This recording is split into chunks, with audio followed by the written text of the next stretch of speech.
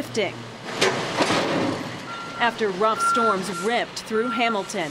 Our main, main goal when we first come into a storm is to clear the streets and make the streets passable, and then we come back and clean up afterwards.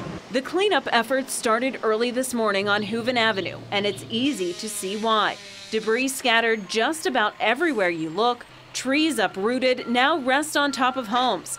The Parkers had not one, but two vehicles destroyed.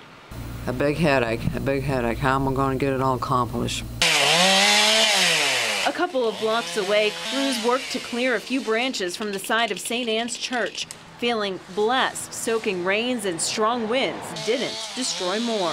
The rain was up about a foot and a half in the streets and trees down everywhere.